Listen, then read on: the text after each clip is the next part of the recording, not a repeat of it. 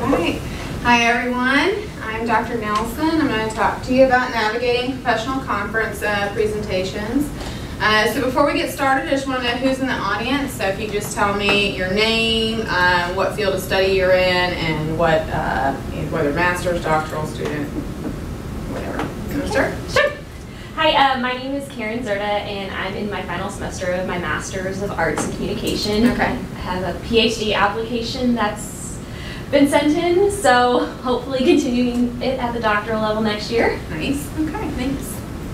Thanks. Hi, my name is Natalie. I'm a master's student, currently halfway through the program, and the program is the Fisheries and Mariculture program here. Nice. All right, thanks. Yeah.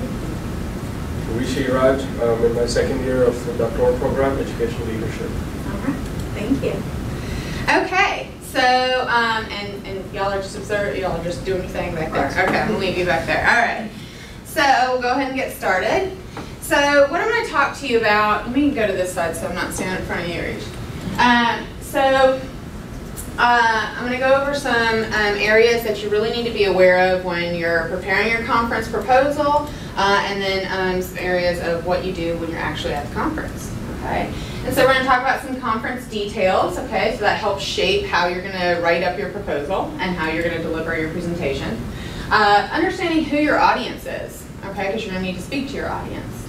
Uh, we'll talk about the actual proposal process, what's involved in there, what you need to know, and representation. So how do you need to represent yourself and your research or whatever um, content you're trying to um, present. We'll talk about the title and how to craft a catchy title so people look at the program and say, wow, you know, I really want to go to this because it sounds pretty awesome. Uh, we'll look at the content overview. So what's involved in the process of writing this propo proposal? What, what do we actually need to put into the content um, so that we're informing the reviewers of, you know, best how, um, best informing the reviewers of how important this is for us to present. Uh, your learning objectives, so people know what they're getting out of your session. And citations, what do you do with those? Because writing a conference proposal is very different than writing a literature review or a uh, manuscript for publication.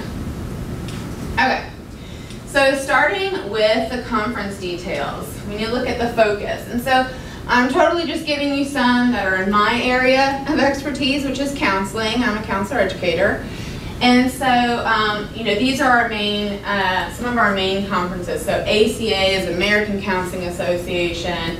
Um, then we have ACES, TCA, and ASERVIC. And so these are um, specialties. So ACES, that is a national one. TCA is a, a state one. And ASERVIC is also a national, but it's a specific branch. So all of these different um, conferences have different focus, okay, have a different focus. Uh, and so that's something I need to be aware of when I am writing my proposal and thinking about what I want to present and where it's appropriate. Okay. Think about the theme. Uh, so most conferences now have a theme. So think about, does your proposal fit the theme um, or is it, you know, how, how is it related? And so some of ours uh, we focus on, I know that some of our past conferences we've had in the counseling field have been related to resiliency. Another one is a military focus, how we're going to work with military vets and so forth.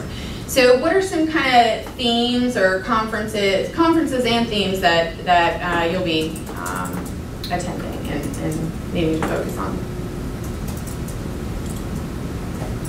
Curly, I'll be attending one in the next week here. It's the GoMOSES in New Orleans. It's Gulf of Mexico and Ecosystem Science. Okay.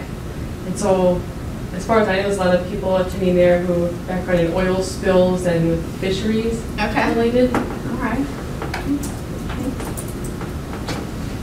Anybody else? I'm not signed up for anything right now, but I know like uh, with the National Com Association, I think things have been like changed. They're usually Okay. pretty broad. Okay, yeah, they usually are pretty broad to fit, yeah, a lot in there, okay. Anything? My, uh, ASHE last year had, uh, student professionals, uh, no, I'm sorry. Uh, it had about, it was about student success, but, um, continuity of that after graduation. How to put things in place, uh, where you can have a nice, efficient thing going on, Oh, okay, so something like that. I don't know what they have this year. nice, okay. So think about that when um, you're looking at a conference that you know, for us, we know exactly like which ones we really need to go to, which ones are like an area of interest that's an extra one. So, you know, like I said, ACA is a big one for us, so is ACES. TCA, that's a Texas Counseling Association, so that's, that's state, we're, you know, see folks from Texas. Um, ASERVIC is Association for Spiritual, Ethical, and Religious Values in Counseling. So obviously that's gonna be within the, that, that range of, of interests. And so I know I'm already gonna present, you know, research or content that is gonna be related to one of these um, areas. And so think about that. And then um, think about your theme. So what is the theme of the conference? So think about when you're writing. Okay, know your audience. So who will attend your session? So would it be teachers that are attending your session? Would it be environmental specialists? I'm sure there's another word in there that I don't know, but Yeah, that's, yeah, that's what I've been thinking too, and There- environmental focused, yeah. There you yeah. go. Uh, or, you know, with, when you take your, your larger organizations and you break it down into specialty areas, who's gonna attend, okay? Uh, and then who is your target on, audience? So if I'm gonna present at the American Counseling Association Conference, which is a huge national conference, well, there's all types of counselors there. But who's the target audience for my session? Well, then I need to align that. Well, what are my expertise? So if my expertise are marriage, couple, and family counseling, then I'm probably going to be doing a session that's going to target marriage, couple, family counselors. If my research is about um, trauma and resiliency, well, I'm probably going to be um, speaking to folks that work with trauma survivors. Okay. When you start your presentation, so moving past, you've already written your proposal, it was accepted, congratulations, you're going to the conference and you're going to present there. Okay, so you know who you're presenting to, you know your target audience. So when you come into your room and you see all those people there and you're ready to present your content, give a brief audience introduction. So I kind of modeled that a little bit when we started. We have a small group here, uh, so it was a very, very brief introduction. But I told you who I was and asked who you were. So who you are. So when I'm doing a presentation, I usually go ahead and start because I'm, I'm speaking to a larger group. Lots of people have no idea who they are. And uh, I tell them my, you know, who I am and a little bit about my background, perhaps, you know, where I work and what my area of expertise is, what's my clinical experience, um, just a little bit uh, about myself. And then I want to know who's in the audience. now, if I have a session with 100 people in it, I'm not going to say, let's go around one by one, tell me your name, your area of interest, your area of expertise, and so forth. That's going to take my whole entire session, right? So a way to kind of feel out who's in my audience, I go ahead and say, who all is, who all in here is a student, okay? Who all is a, who's a, a practicing clinician? Um, who specializes with marriage, couple, family counseling, whatever it is. So I kind of gauge, well, where, where do I stand? Who am I speaking to? And that way, if I have a larger audience of students, well, I probably need to gear my conversation with them a little differently if, than if I have, you know, a large group of practicing professionals. So, just a little tip there. And like I said, so you speak to your audience, who's there, all right? And sometimes you have a very mixed crowd. And so you really need to be flexible. Am I speaking with experienced professionals? Am I speaking with students? Is it a mix? And then how do I go ahead and meet the needs of both? Any questions so far? Okay. So now looking at the larger conference itself. So we're stepping outside of your session just looking at the entire conference. Who would be attending this conference?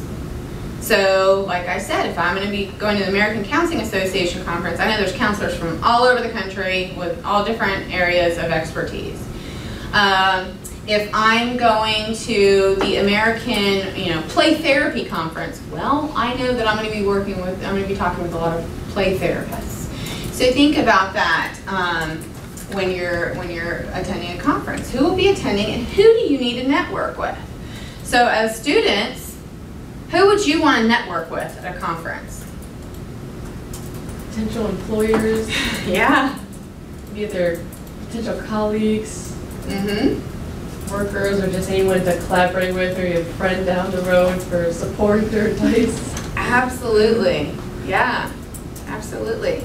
And so think about that when you're going. And then I know it's different based on the year of your studies. So as a doctoral student, your first year is very different from your second year, is very different from your third year, and who you need to be networking right with, right?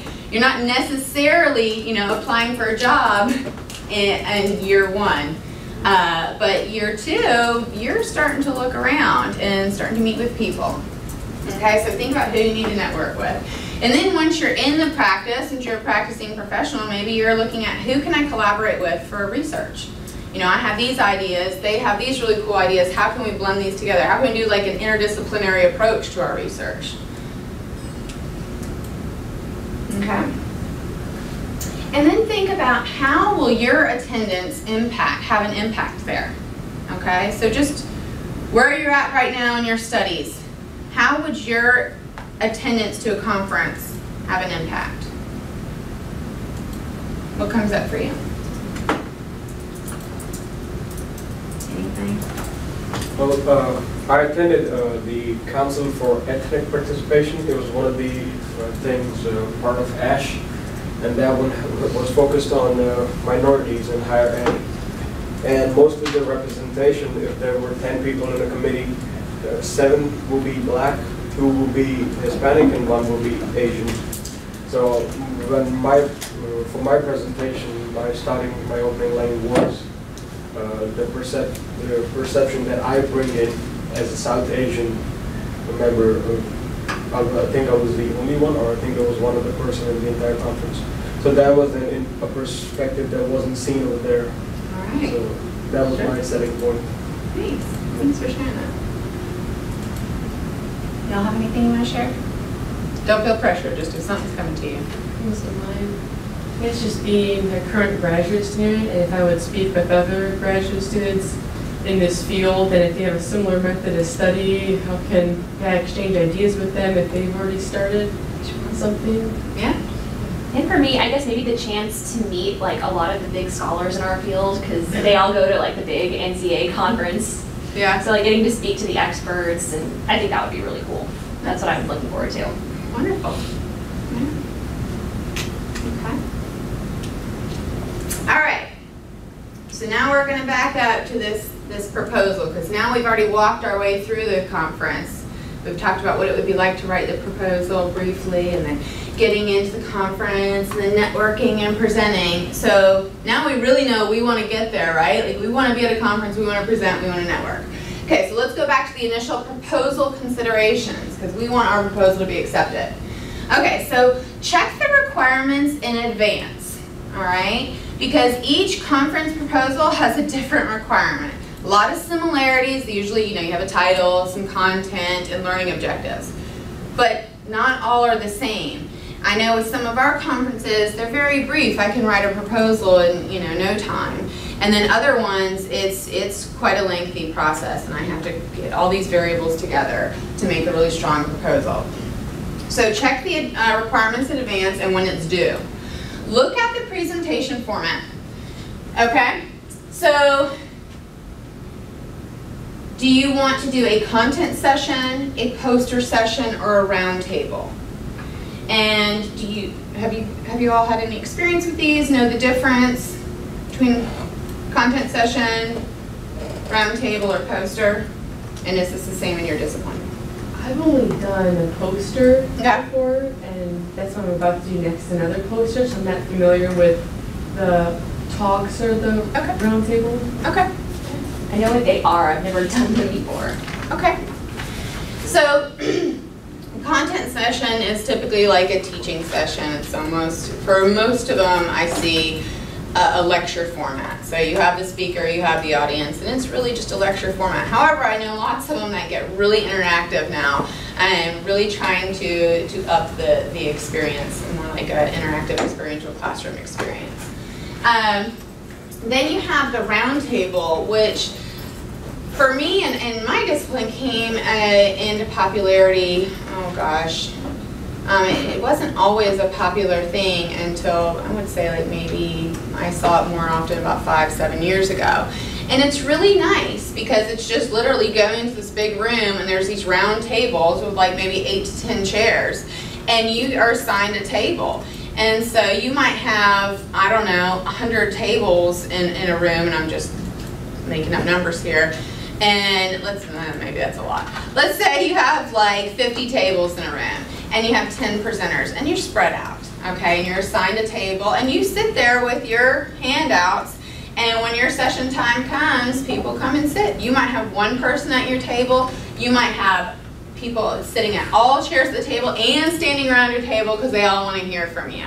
You just never know. Um, it's kind of a nice little intimate setting though, uh, where it gets really, you know, getting these real personal, you know, real, uh, it's more personable and these great conversations, conversations really flowing versus the lecture format. So there's benefits to all of them. And of course the poster you seem like you're familiar with where you stand there and people walk up to you and ask you questions and then move on to the next poster. Uh, so you can have fun with each of these. And the, the roundtable, I think, is an excellent uh, asset if you are looking into research or collaboration. Yes. Because that is, uh, instead of you going out to look for people with similar interests, that brings about 10 people to you. So Mm-hmm. you know they have a shared interest. Yeah. Oh, it, it, I, I have had some of the greatest conversations at roundtables and really, um, I've- I think I've spurred off like three, um, research studies just in the last like year, just from those conversations. It's pretty cool. Okay. So what, think about this, what type of session do you like to attend? So have you attended all of these types? Which one do you prefer? Roundtable. Roundtable, all right. What about y'all?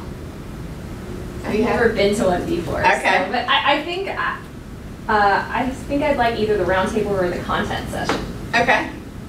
I think the poster was different, just definitely tailoring to whoever was approaching you, since it would seem like a stranger, and you know their background, so you would get a little information and give some back. I would be interested in the round, round table too, Mm-hmm. actually, just so it's more collaborative and not just standing so much in front of a Yeah. big blowout poster. Yeah. Yep. So I would say, you know, think about what you like to attend and then write a proposal for that. So, uh, you know, if you really like, I mean, obviously you haven't done a roundtable yet, but hopefully you're gonna experience one soon. Uh, but think about that when you're doing your presentation, uh, proposal. What do you like to attend? So what would you wanna offer? Uh, and just going back to that too, I just want to remind you, you can be very creative. I've seen, I, I saw one that was this, this, this one uh, counselor, she really wanted to do a content session. And, but she didn't get the content session slot. She got a poster session. She's like, okay, well, I can make this work. Well, it's about yoga and counseling. And and in no time, she had this crowd around her poster. I mean, people were having to like move out of the way to make room for all these other people, and everybody's doing poses and stuff. It was great. It was fantastic. She made it work. So you can be creative. Okay, so let's look at some writing tips to get your proposal accepted. like I said, know the deadline. You don't want to be writing your proposal the day before it's due, although that does happen sometimes. Uh, you want to give yourself plenty of time. Don't procrastinate. I know you're probably like, wow, this sounds just like, you know, my professor telling me to get my assignments done on time. But it really does. Don't procrastinate. Uh, start early. And the reason that you want to start early is because you can edit over time. Uh, if you're anything like me, I write something down, I'm like, I think this is great. And then I walk away two hours, come back to it later, two hours later, and I'm like, oh, what the heck did this mean? I gotta edit this. Maybe two days later, I come back and I'm like, that was such a great idea. Let me make sure it's really ready to go before I submit. And then I'm like, oh gosh, no, what does this mean? This doesn't make sense to me. I need to look at it again. And so you want new eyes, fresh eyes looking at this. And plus also considering the time of day you're writing it. Are you stressed? Is it the morning, the nighttime, middle of the day, you know, whatever's your best writing time? Um, and, you know, think about what else you have going on uh, in your life. And so make sure you start early and edit over time. And they're not usually that lengthy. It's just a matter of getting those fresh eyes on it so you have a nice creative um, approach. Uh, one other tip I really like is creating a, a Word doc copy of this. And so whenever I'm going to submit a, a conference proposal, like I said, they're in different formats. And you're usually, nowadays, at least in, in, in our field, uh, you're entering everything online and then it goes away and that's it. And you don't get a copy of it, it's just gone. And so I like to make myself a Word document for each conference proposal. So if it was ACES, um, then I'm going to go ahead and write my title, you know, my content, my learning objectives, everything that I'm putting in the format that has to be submitted to them, I'm writing in a Word document. So I have that, uh, that copy for myself on file. And that helps me next year when the next conference proposal comes around, I already know what to expect. Yes, they can change things. They might change the format a little bit, uh, but for the most part, I know what to expect. This is really helpful for some of our bigger conferences. Like I said, the American Counseling Association conference is, is really big. And their proposal process is, is pretty intense. It's very lengthy. You have to have these different citations and to support every you know aspect of your proposal. Uh, and it takes quite a bit of time. And so when I know that time of year is coming around and I'm going to have to prepare that one, I can look because I have the document from last year. Okay. Any questions before we move forward? Okay. So, you know what you want to present. You're really passionate about whatever the area is. But you want other people to be passionate about this too. You want them to attend your session and know how important this is. So come up with a catchy title. I like to give folks the tip of create the title and a tagline. All right, so it's not just um, I don't know, investigating the da da da da or whatever. Okay, well that's great, but if 20 other people say investigating the da da da, it's going to get lost and nobody's going to care. Want something to be really catchy and to grab their attention. And so one of them, not that this is life altering, but this is one of the ones I've used. So one of my areas of research is on post-traumatic growth. And so I really played with this, and this is one that I came up with that's been accepted to several conferences um, around the country. Post-traumatic growth, thriving in the aftermath. I don't have to say thriving in the aftermath of whatever, it's just thriving in the aftermath. You fill in the blank. And it's catchy, well I think it is. I think it's a pretty stellar title. Um, maybe you don't, but I like it. So think about, you know, what it would be for you. All right, and don't worry, we're gonna have a little practice time uh, to get you started. Uh, I, have seen folks do some, some funny things too, which I'm, I'm a little iffy about. Uh, oh gosh, I wish I could remember this one, but when I first read it, I'm like, oh my goodness, what are you, what are you talking about? And then I read the tagline, I'm like, okay, okay, we're good. Uh, but it just, it, it grabbed my attention, but then I had to read the content to make sure it was something, you know, legit, something I really wanted to attend. Okay. So next part of the process of the proposal writing process is looking at the um, content overview. You want to include the most important information. So you might have a thousand characters that you can use. It might be 200 words you can use. Every proposal is different. Um, some go from a paragraph, some go to like, you know, I don't know, five paragraphs long for a content, um, content section. So you want to include the most important information. And so with a manuscript that you're writing for publication, you have to like cite every line, right? You have to support everything you're saying. It's a little different with these. Some of them, you might get like one citation in there to support what you're saying, maybe two, just to like put those key ones in there to show, I know what I'm talking about, I'm not just making stuff up and I want to talk about the importance of trees. I'm telling you why, you know, because this, this, and this research was done. Other conference proposals might require you to use a certain amount of citations. In my field, I've only seen, a, um, I, oh gosh, a max of five citations uh, used in a conference proposal. Um, and that was, that's only for one conference proposal. So you just got to be careful and, and limit your use and make sure it's the most important ones and also the most important information in that content overview. So you're telling the reader, what is this conference um, session going to be about? You want the reviewer to know. They've read your tagline, they're interested, now tell them exactly what, you know, what this is about, but using limited and um, words and the most important words you need to use. Um, use terms that the reader is going to understand, because you have no idea who's reviewing. They might not be as passionate about your area as you are. They might not know anything about your area of interest. Uh, and so you want to use simple terms, uh, but also they're relevant to your field, of course. Be straight to the point. You don't want to be like, you know, counseling is super important because it is life changing and you're gonna feel better about yourself and sleep better. They're like, yeah, yeah, yeah. I've read that for 50 presentation proposals. Tell me something new. Tell me something that's gonna grab my attention. And why is yours so unique? So be straight to the point. Okay?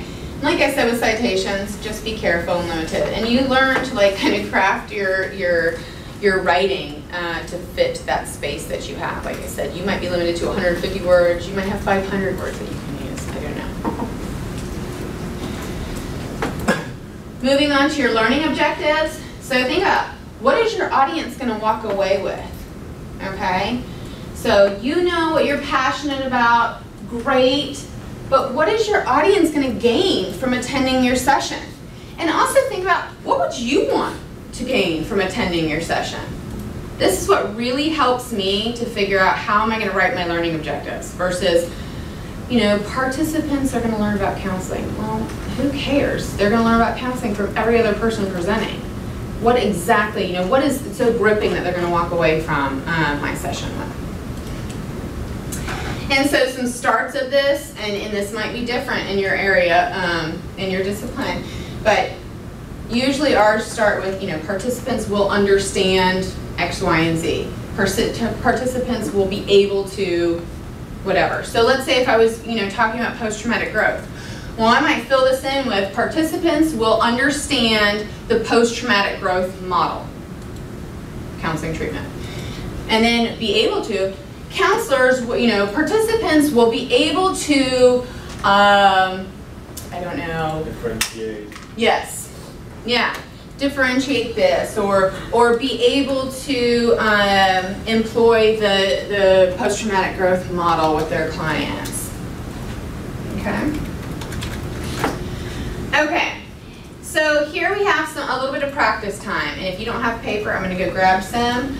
But what I'd like you to do is think about an area of interest that you have and something that you might be presenting soon.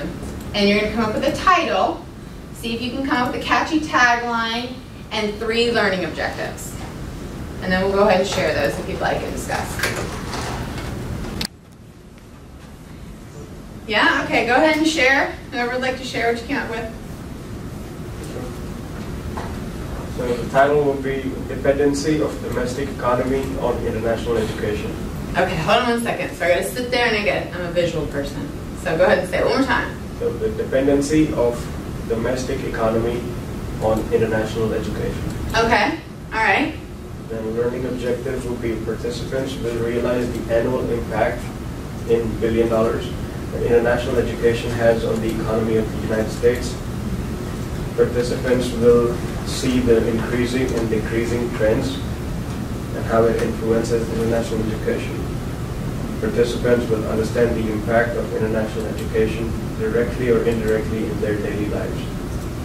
Read that last one more time for me, please. Participants will understand the impact of international education directly or indirectly in their daily lives. Okay, all right. So, what came up for y'all? Did that sound clear? Was there anything that was unclear to you? I think it sounded clear and concise, and I could follow it good. With uh, more so with the indirect effects. Um, seeing with that, if they wouldn't be yeah directly know when you're exposed to, or that was the only thing I was just curious about. But I think it sounds really good. Yeah. Thanks. Yeah. It was very clear, and you know, a lot of times that was something I meant to mention with the the title. A lot of times you're limited to how many words you can use in a title and all of a sudden you're like, how do I how do I convey everything I want to convey into five five words or ten words, whatever it is. And I thought that was really um, that was really clear. How many words did you have in your title? Five. Five. Yeah. Six. All. Nice. Thank you. All right. Do y'all want to share yours? Sure. Okay. So this not be as creative, and this I just pulled from my old poster, okay. but it's the title is the long-term effects of Deepwater Horizon oil on DNA patterns in red drum in Louisiana estuaries. Okay. And learning objectives that I want the audience to get from it was to understand what changes can occur at the DNA level in response to oil and to understand how oil is still present in the environment. This is the second one, but Okay. to understand how oil is still present in the environment can cause harmful health effects in fish. Okay. And then three, potential ways to reduce future oil spills after from hearing these harmful effects. Okay. All right. So what comes up for y'all hearing that? I thought it sounded pretty clear. I mean, I don't know much about your field, but it sounded pretty good. Okay. Yeah, same for, I mean, I have no um, knowledge of the field, Yeah. but in a conference, you would, you won't interact with somebody like me. Everybody over there will have knowledge, so. Yeah. Yeah, for, for that, it sounds pretty good. It has the knowledge what it it is right now, and then you have future recommendations, right? Yeah. Yeah. it sounded like the learning objectives. I gotta have you go back to number two, because I'm not sure I got that one. But it sounded like there was, the, the first one was directly related to the title. Yeah. The last one was like a future-oriented Yeah, um, so it has aspect. practical significance. Yeah.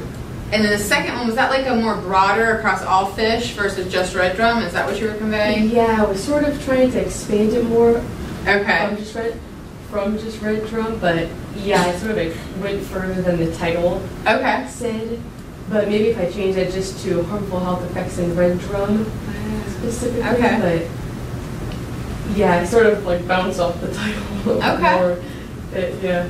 And so going back to your title, okay, count your words for me, please. Words were the long-term effects of Deepwater Horizon oil on DNA patterns.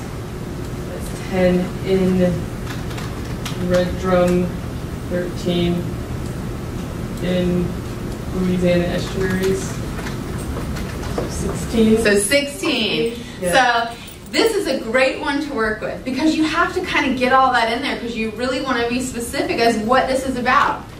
So how could we get that into 10 words or less? Is there anything like comes up for you right there that you feel like you could cut or tweak? Maybe getting rid of long-term effects and Okay. saying Deepwater Horizon, oil, and its influence on DNA patterns in red drum, Okay. and maybe not expanding to the Louisiana estuaries part. So think about this.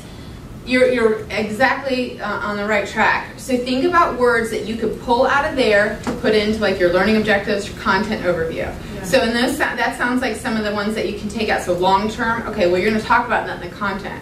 You just need the title to grab their attention. Say, well, what is this this session going to be about, and why should I care? Okay, there it is. Then I go into the content. So if I look at the title, I'm like, well, this sounds pretty interesting. Let's see what it is. And then I go into the content. And I'm like, oh, okay. I see specifically we're talking about long term. We're talking about Louisiana, right? Okay. A specific type of fish. So you can kind of play with that. Is that Yeah, Sounds- that's good. Yeah. Okay. Cool? All right. Would you like to go ahead and share Sure. yours? Okay, so typically with a communication paper, you kind of have your catchy title first, and then you pretty much spell out exactly what your paper is about. So this is the uh, research proposal I, am working on right now. So far, the title is uh, "Let Me Tell You About My Day." Content of displaced dissent messages. So basically, what displaced dissent is is when you complain about like a specific part of your job to like a friend or a family member. So uh, my learning objectives, uh, participants will be, uh, oh, participants will learn the major content areas of displaced dissent messages. Uh, participants will understand how displaced dissent messages differ from, or serve different purposes than upward or lateral. So upward is complaining about a part of your job to your boss, and lateral is complaining about it to a coworker. And then my last one, uh, participants will be better able to understand the importance of displaced dissent on organizational life. So it's kind of hard because I haven't done the study yet. I'm just like getting Yeah. ready to do it. Yeah. Okay. But that's what I have so far based on like my lib review. Okay. Cool. So what comes up for y'all? I thought that was really interesting. I like how you expanded too on some of those definitions. I wasn't. I know, I'm like, familiar wait, what? with- Yeah, I figured like outside, Yeah, even a lot of good. people in That comm don't know that unless you're studying that. Yeah. Okay. Her, her, her title for me it was broken down. It had two parts. Mm-hmm. You know how when you're taking, talk, talking to somebody, like hey, come here, look at this. So she had the hey, come here part first, when she says, let me tell you about my day. And once they're there, that's when you talk about the actual, the Mm-hmm. title. Yeah. Yeah, I thought that was catchy too, the titles. Yes. Yeah, and that's kind of how they all flow in comm. Like you get their attention and then you tell them, okay, this is exactly what this paper is about. Yeah. Okay, and so how many words was in your title? Mine was 12. 12. Okay. So I don't I don't know about your discipline. Typically I'm seeing things that are like 10 is the most. So how could you reduce yours? And could it? Yeah, I would. My idea to like reduce it is to kind of maybe play around with like the first catchy part because I think like the second part, like the content of displaced dissent messages, that I have to have so they know, okay, Mhm. this is what she's going to be talking about. Yeah. But I guess I could play around with like whatever something catchy that comes to mind. Yeah. Okay. So I, I don't know. I, I, I like it the way it is. I know. Like, I don't know how to like. I don't know how would shorten it. I do too. I love it because it's catchy. Um, and then, so think about like when you're in those moments where you know you've come up with something you really love, and then you have to edit. And you're like, no, I can't take away this one. This one word. It, it's going to ruin everything. All right. So you could play around with that. Uh, and what was it? Come tell me. What was it again? Uh, the like tagline part is content of displaced dissent messages. And the first part.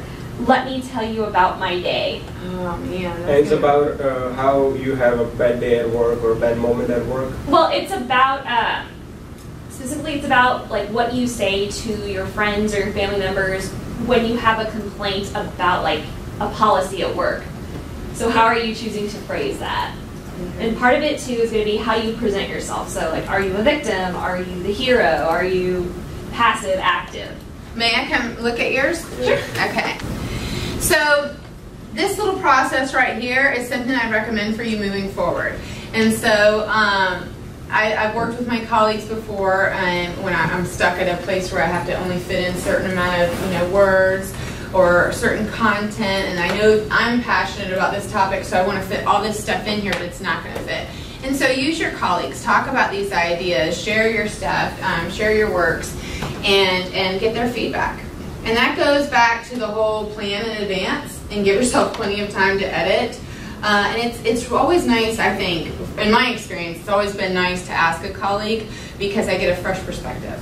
Just like you were saying, well, this is what's come into mind for me. How can I look at it from this way? Or, you know, just having this little conversation that we just had here. Okay. So here are just your key points to remember. Know what is expected of you for your proposal and what's expected at the conference. Start writing early so you give time for review and edit. Okay? And have fun with it. Um, some of these can be like daunting processes, it seems like. Uh, but hopefully you can have a little bit of fun with it. And, and usually for me, that starts with the tagline. Once I get my title down, I'm like, okay, all right, I can get things going here. Uh, and just have fun with the whole process. Okay. Any questions?